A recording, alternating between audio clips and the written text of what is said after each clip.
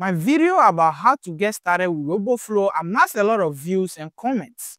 And due to this, the RoboFlow team reached out to me to make a subsequent video because their platform has evolved and they got a cool new features. So today in this video, I'm teaching you everything you need to know about RoboFlow workflows. RoboFlow workflows help you to quickly build vision applications. By just connecting blocks, you'll be able to build production-ready vision applications that can also be deployed on edge devices. I guess you don't want to miss any detail in this video. So just sit, relax, grab your cup of coffee, and I will take you through everything you need to know about RoboFlow workflows. Ready to do it? Let's get right into it. Alright guys, so to start off, make sure you fire up your browser and open RoboFlow. So you can just open up a new tab, just type roboflow.com. Alrighty, so after the login process, you can see over here that we have projects, workflows, monitoring, deployment, and settings. What we are going to learn today is related to workflow. So make sure you quickly click on workflows, okay? After clicking on workflows, you get a nice looking page like this where you have a sample of a workflow created by the RoboFlow team. So quickly before we create our new workflow, workflow is just the step-by-step -step approaches you follow to complete a task. So if you are to detect these boxes in this particular image, these step-by-step -step blocks you put together is the workflow, okay? So the step-by-step -step approach you follow to complete a task, that is known as the workflow. All right, so now I'll create my new workflow by clicking on create workflow and this will bring me this page where we have a sample workflow, simple workflow. So we just get an input, add model and the output. So what we are going to do today is to detect some objects in an image. So we'll be detecting drinks to be specific. And then from there, we'll visualize this bounding box and see all the other things we can do using the RoboFlow workflow. So quickly I'll click on input and over here you can see you can use an image as an input or a video file. So if you want to use an image, there are a couple of ways you can do. You can just quickly upload image from your desktop or you can even enter the URL to an image on the web. So I have an image on the desktop, so I just click here and then this will uh, allow me to upload my image. But before that, you can also use a video file, but you have to host this video on your own server and make sure you connect to that particular local server. I'm not going to do this. We'll be using image. So you just click back on image, select file, and uh, I'm going to upload the image of this drink right here. Alright, so right after uploading this image, I've completed my input part. The next step is to add a model. Okay, so click on add model and there are different varieties of models here based on what you want to do. If you want to perform object detection, you can select object detection model. If you want to do segmentation, we have segmentation model here. We have single label classification model and so on. A whole lot of models, okay? You can use Florence 2 OpenAI, Florence 2, which is one of my favorite model, of course. Embedding models, gaze detection, so a whole lot of models, okay? Just click and you are good to go. So I'm going to do detection. I'll click on detection and this gives you the option to train or use your own custom model. So if you have a data set, which I teach you how to train your custom object detection model in the previous tutorial, you can follow that tutorial to train your custom model. But if you are like me, who is just detecting bottles or drinks, then a pre-trained model will be fine. Okay, so I'll click on browse pre-trained models and over here we have a whole lot of different pre-trained models we can use so we have YOLO V8, we have YOLO NAS, YOLO 10, YOLO 11, and so on. We can also use models from the RoboFlow universe. Okay, so RoboFlow universe is a place where you can see a whole lot of data sets, so free data sets, and also free models to use. So they are public, trained by people, and they have open source them so you can use. So these two models here, which are people detection and vehicle detection, are from RoboFlow universe, and they are free. You can use them but I'll be choosing YOLO V8. So I'll start with YOLO V8 and I can switch to any models at all. And in case you have trained your own models to, you can just click here your models and you can select from any of your models. Okay. Other than that, you can use public models. I also teach you how to use models from your RoboFlow Universe later. So let's continue for now. So I click on YOLO V8 and I'll click on save and this will add YOLO V8 object detection to my workflow. So now I have an image in the input and that image will be passed through this object detection and I will get some output. You can also add up some parameters here. So you can play with some of the parameter model parameters here. You can see the confidence. If you want to increase the confidence, by default is 40%. You can increase it. The IOU threshold, you can also play with it. So there are a whole lot of things you can do here, but I will leave them by default.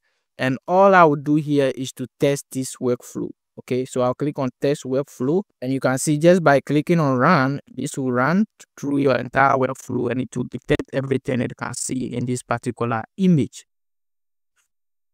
all right so these are the model predictions and these are the bounding box information that's given us from the image but what you can do is to take this one step ahead by visualizing the detections on the image itself so by doing that, you can just come back to object detection. Before the output, you can add another block here. So you click on plus here and what you want to do is to visualize. So you come to visualization, click here and there are a whole lot of visualizations you can do. Okay, so you can see grid visualization, key point visualization, polygon zone visualization, a whole lot of them. So you just choose the one you want to do and in my case, I'm just going to do a bounding box visualization. So I'll quickly click on this and this will also add this to my workflow. So let me zoom out so that you guys can see. And now we have our bounding box visualization.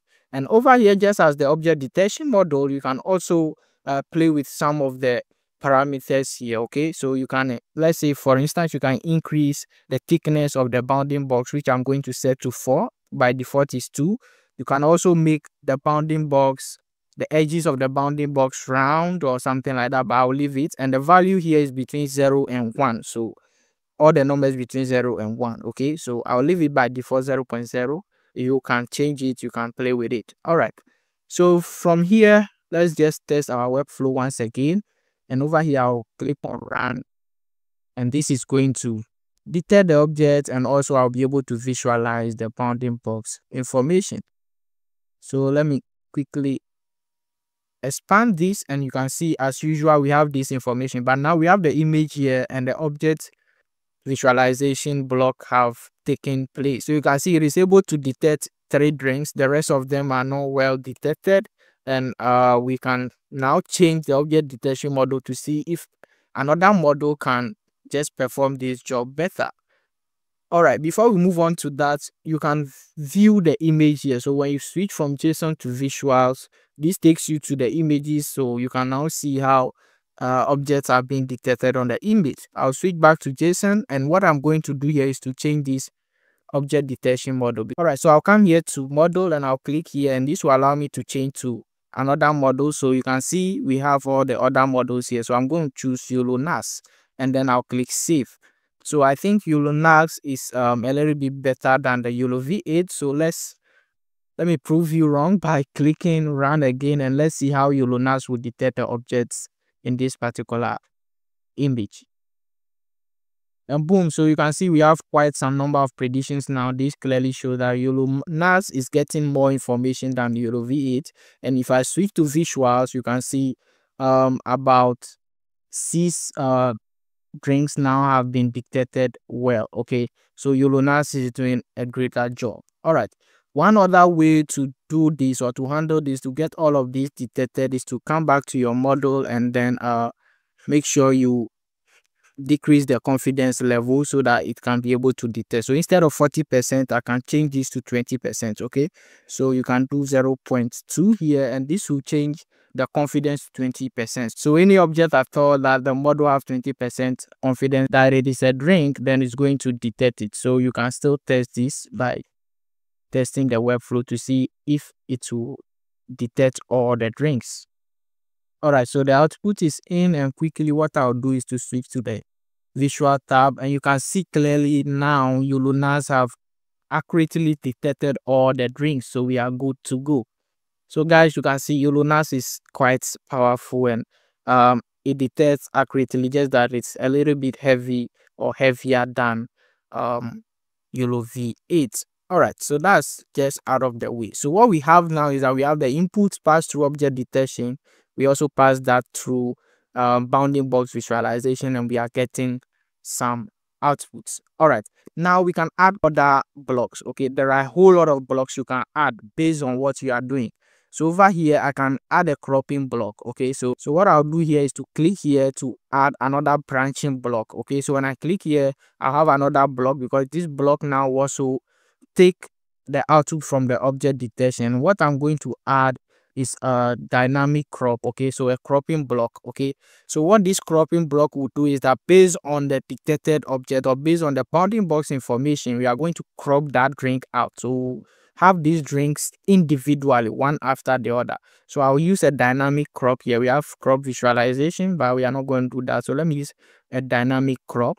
And for that i'm not going to touch anything here i'll let it remain the same and what i'll do is to test my workflow so when I run this now, uh, the detected objects now both pass through the visualization block and also pass through the dynamic block. And now my up outputs are three. So you will get the output in the JSON format just as you've arranged your workflow. So when I zoom here now, you can see we have the model prediction, which is the first thing we've done. So from model prediction, we'll go to bounding box visualization, and then we'll also move on to our dynamic crops. All right, so this is the visualization for the bounding box. So you can see it clearly here. From there, we have our dynamic crop. So the dynamic crop based on the bounding box information will crop out these drinks one after the other. So you can see we have them, they are predictions, they are widths, we can we have sprite. So we have all of them one after the other.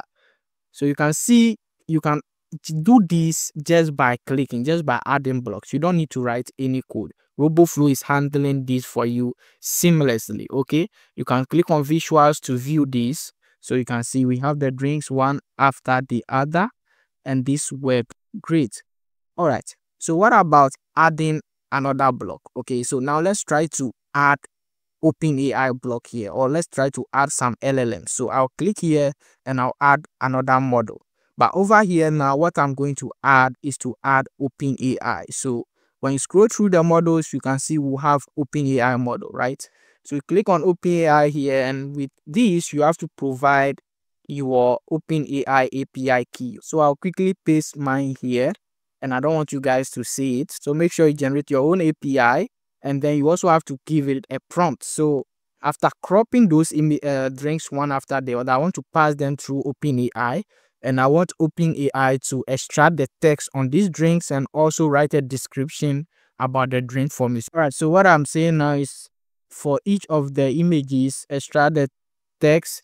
So instead of images, I can change here to drinks because they are drinks. Let me be specific. So for each of the drinks, extract the text and write a description about it for me.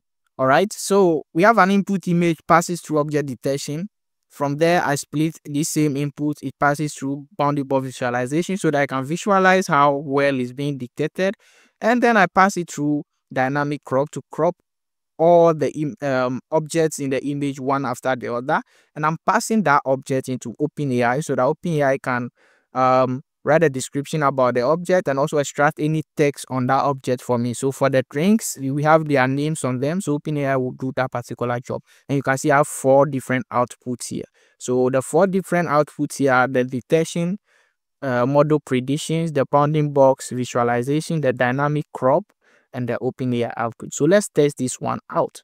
So quickly what I'll do here is to run this and this is going to take some time because this will make requests using the OpenAI um, API for each of these drinks and it will write those description and also extract the text. So it's going to probably take some time. So you have to just make sure you grab your cup of coffee and wait for the results. And boom, here you have it. So you can see we have the object detection, which is the model predictions. We have them here.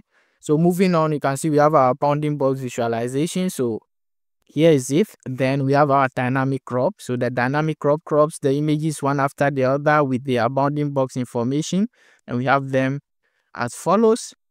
Then from there we are expecting to get the open ai output. So let me scroll. And where is it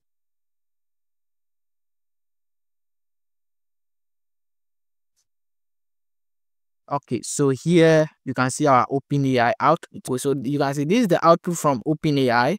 And OpenAI, this is the description I told you to write. So Coca-Cola is a classic carbonated soft drink. So you can see with this, we are getting everything. So OpenAI have what written this particular output for you for each of these drinks. And this is the output test from OpenAI. For each of these drinks, it has what written or it has done whatever you want it to do for you just by giving out that prompt. So if you should do this manually, you know it will take some time. You have to write this code one after the other, set up models here and there. And this is it takes a whole lot of time from developer perspective. It takes a whole lot of time to do this. But with roboflow all you need to do is to assemble these blocks together. And with this even non-coders people who have uh, very little knowledge about coding can build a whole pipeline or can build a whole workflow and they will get things working. So you can see with this building a real world application becomes something very very very easy all you need is to connect these blocks together. And there are a whole lot of blocks okay? So even before passing this to openai i can choose to blur this image by just adding a blurring block okay? So you can see there are a whole lot of uh, you can click on view more blocks and a whole lot of them. So there are a whole lot of blocks you can use. So let's say want to blur you can see we have blur visualization image blur. We can apply image blur just by putting it here. And over here you have the option to choose between different types of blur. So gaussian blur average bilateral blur. You can choose any of them. And when you run this pipeline it's going to what? Blur the images before passing them through openai. So all you need to do is to come up with what you want to do and then you use these different blocks together assemble them how you want them exactly and you will get the output all right so now after getting this output you can choose to deploy this. So this is the amazing part of it. So just click on deploy and you have several options okay?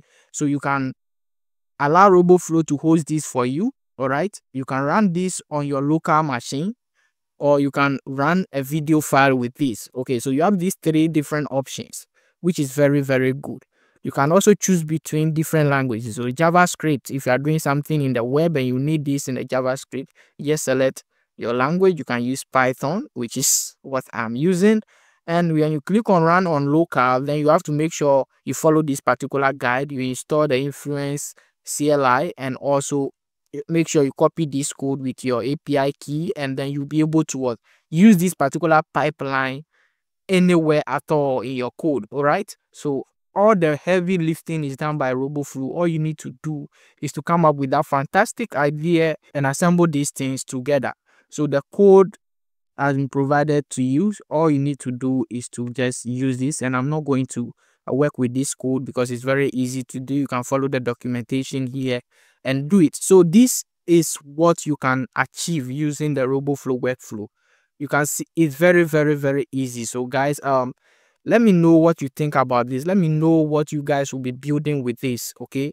Let me know what you'll be building with these particular workflows and you can share some of these ideas in the comment section. If this video is helpful make sure you share it and also tag roboflow under this particular video.